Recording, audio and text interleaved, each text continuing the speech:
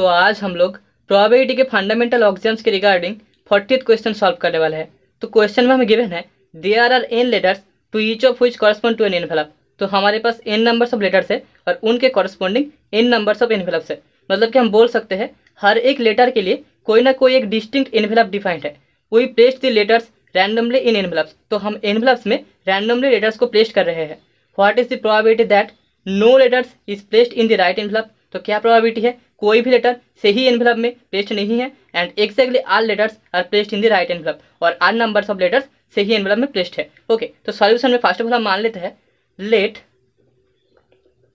A I for I equals to one two dot dot N denote the event denote the event that that the ith letters the ith letters is placed in the correct envelope. In the correct envelope. तो हमने यहाँ पर ए i को एक event मान लिया है, जो कि डिनोट करता है आयथ लेटर के करेक्ट इन्वेलप में प्लेस्ड होने को, ठीक है? इन्वेलप तो अभी क्वेश्चन के पहले पार्ट में हमें पूछा गया है, क्या प्रोबेबिलिटी है कि कोई भी लेटर सही एनवेलप में प्लेस्ड नहीं हुआ है? तो हम लिख सकते हैं the probability the probability of the event of the event that no letters is placed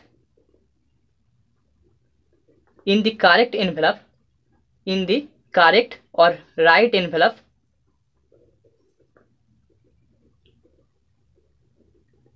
is given by इसको हम लिख सकते हैं A one bar into A two bar into dot dot A N bar that is equals to हमें मिलेगा? Probability of A one plus dot dot plus A N इसका whole bar by de Morgan's law by applying de Morgan's law हमने यहाँ पर letters के सही envelope में जाने का जो इवेंट है, उसको ए आई मान लिया था। तो यहाँ से हम बोल सकते हैं लेटर्स के गलत इन्वेलप में जाने का जो इवेंट है वो होगा ए आई बार अभी यहाँ पर हमें सारे के सारे लेटर्स का गलत इन्वेलप में जाने का प्रोबेबिलिटी चाहिए। सो दैट इज़ हम बोल सकते हैं probability of A one bar into A two bar into dot dot A N bar that is equals to by de Morgan's law हम लिख सकते हैं probability of A one plus A two plus dot A N इसका whole bar अभी that is equals to हमें मिलेगा one minus probability of A one plus A two plus dot dot plus A N okay क्योंकि हमें पता है probability of A bar is equals to one minus probability of A ठीक है इसको हमने यहाँ पर अप्लाई किया है। दैट इज़ इक्वल्स टू हम लिख सकते हैं one minus summation I equals to one to N probability of A I minus summation I J equals to one to N जहाँ पर आई लेस देन जे होगा probability of A I into A J plus summation I J K equals to one to N जहाँ पर I less than J less than K होगा probability of A I A J A के minus dot dot plus हमें जो आखिरी वाला term मिलेगा that is minus one to the power N minus one probability of A one A two dot dot A N अभी ए हमने कैसे लिखा? ए हमने लिखा by the general addition rule by the general addition rule of probability general addition rule addition rule of probability ये वाला rule हमने already prove भी किया है। ओके तो अभी हम लोग प्रोबेबिलिटी ऑफ़ ए आई को इक्वल्स टू लिख सकते हैं one by N for I equals to one two dot dot N क्योंकि हमारे पास एन नंबर्स ऑफ़ लेटर्स है तो उन एन लेटर्स में से किसी एक लेटर का उसके रिगार्डिंग सही एनवेला में जाने का जो प्रोबेबिलिटी होगा, वो होगा वन बाई एन तो हमें probability of A one equals to one by N मिलेगा probability of A two equals to one by N मिलेगा so one probability of A N equals to one by N मिलेगा। तो by general rule हम बोल सकते हैं probability of A I is equals to one by N अभी probability of A I A J equals to हम लिख सकते हैं probability of A I into probability of A J given A I has already occurred that is equals to हमें मिलेगा one by N into one by N minus one क्योंकि A i event पहले ही occur कर चुका है मतलब कि एक लेटर ऑलरेडी उसके रिगार्डिंग से ही एनवेलप में पहुँच चुका है। तो बाकी बचे एन माइनस वन लेटर्स में से एक लेटर का, उसके रिगार्डिंग सही एनवेलप में पहुँचने का जो प्रोबेबिलिटी है, वो होगा one by N minus one तो इसे हम one by N into one by N minus one लिख सकते हैं। जहाँ पर आई हमेशा जे से लेस देन होगा एंड आई जे का वैल्यू वैरी करेगा one two dot dot N तक। ठीक है? Similarly probability of A I A J A K equals to हम लिख सकते हैं probability of A I into probability of A J given A I has already occurred into probability of A K given A I A J has already occurred that is equals to हमें मिलेगा one by N into one by N minus one into one by N minus two क्योंकि दो letters A I A J occur कर चुका है मतलब दो letters already उसके सही एनवेलप तक पहुँच चुका है। तो बाकी बच्चे एन माइनस टू लेटर्स में से सही एनवेलप में पहुँचने का जो प्रोबेबिलिटी है that will be one by N minus two तो यहाँ पर I less than J less than K hold करेगा एंड आई जे के का value one two dot dot N तक हो सकता है। तो अभी हम लोग किसी एक जनरल इंटीजर आर के लिए लिख सकते हैं। Probability of A I A J into dot dot A R is equals to one by N into one by N minus one into one by N minus two and so on one by N minus R plus one and probability of A one A two dot dot A N equals to लिख सकते हैं। A N is equals to one by N into one by N minus one dot dot so on हमें मिलेगा half into one that is equals to हम लिख सकते हैं one by N factorial hence the required probability will be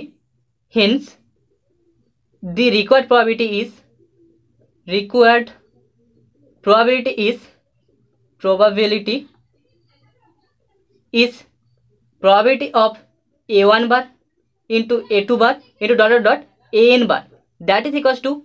1 minus nc1 into 1 by n minus nc2 nc2 into 1 by n into 1 by n minus 1 plus nc3 into 1 by n into 1 by n minus 1 into 1 by n minus 2 minus dot dot so on हमें आखिरी बार जो term मिलेगा that is minus one to the power N minus one into one by N factorial that is equal to हम लिख सकते हैं one by two factorial minus one by three factorial plus one by four factorial minus so on minus one to the power N one by N factorial that is equals to अगर हम series में लिखे तो K equals to two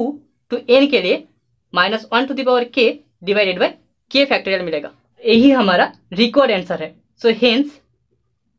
the required required probability is probability is probability of A one bar A two bar dot dot A N bar is equals to summation K equals to two to N minus one to the power K divided by K factorial तो अभी question के second part में हमें बोला गया है exactly R numbers of letters के सही एनवेलप में होने का प्रोबेबिलिटी कितना होगा? So exactly R letters will be in correct envelope if R letters are in correct envelope and each of the rest N minus R is in wrong envelope तो हमारे पास total n letters है, जिनमें से अगर are letters correct envelope में होंगे तो बाकी बच्चे N minus R letters wrong envelope में होंगे। So the record probability will be therefore the required probability is probability is probability of a1 into a2 dot dot A R जो कि r letters के सही एनवेलप में होने का probability है into probability of A R plus one bar A R plus two bar into dot dot A N bar जो कि एन माइनस आर लेटर्स के गलत एनवेलप में होने का प्रोबेबिलिटी है। दैट इज़ इक्वल टू हम लिख सकते हैं one into A two into dot dot A R into one minus probability of ar plus 1 into ar plus 2 dot dot so on a n. That is equals to हम लिख सकते हैं one by N into one by N minus one into dot dot one by N minus R plus one into one by two factorial minus one by three factorial, plus one by four factorial, minus dot dot so on, हमें मिलेगा आखिरी term, minus one to the power N minus R, one by N minus R factorial. ठीक है, यहाँ पर हमने इन probabilities के वैल्यूज़ को क्वेश्चन के फ़र्स्ट वाले पार्ट से डायरेक्ट पुट किया है। तो अभी हम लोग one by N into one by N minus one into dot dot one by N minus R plus one, इस वाले टर्म को लिख सकते हैं N minus R factorial divided by N factorial तो हमें ए मिलेगा। Again, since among n letters any r letters may be in the right envelope. So, the required probability will be N C R N minus R factorial divided by N factorial into one by two factorial minus one by three factorial plus one by four factorial minus dot dot plus so on minus one to the power N minus R into one by N minus R factorial अभी that is equal to हम लिख सकते हैं। अगर इसे हम series के form में लिखे तो हमें मिलेगा one by R factorial into summation K equals to one to N minus R minus one to the power K divided by K factorial और यही हमारा रिकॉर्ड आंसर है। सो हेंस दी रिज़ल्ट